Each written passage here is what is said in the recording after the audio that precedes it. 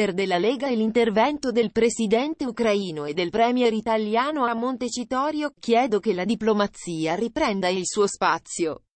Circa 350 le assenze tra deputati e senatori.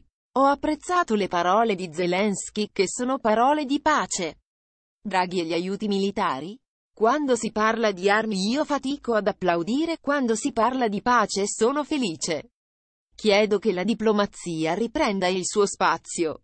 Matteo Salvini lascia Montecitorio dopo il discorso del leader ucraino Zelensky e del premier Draghi e commenta così le parole ascoltate in aula. Speriamo dice ai cronisti che questa giornata porti consiglio a tutti, le armi non sono la soluzione. Spero che le parole di Zelensky vengano raccolte da Mosca e dall'Occidente.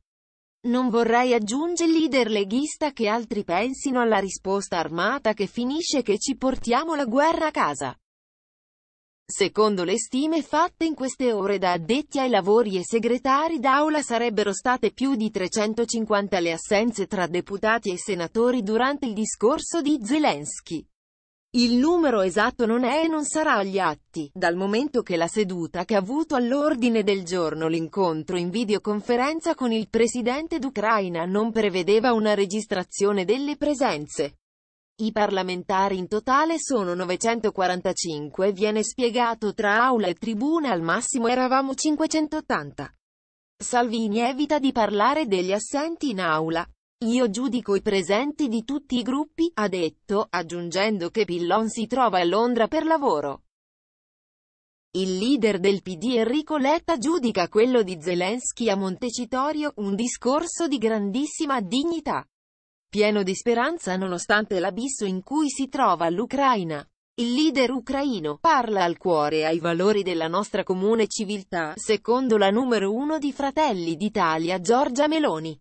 Siamo consapevoli che il nostro futuro e la nostra libertà dipendono anche dal coraggio del popolo ucraino di opporsi al neo-imperialismo russo. È logico e saggio che Zelensky cerchi di arrivare a un accordo ma questa è una guerra, sostiene Matteo Renzi.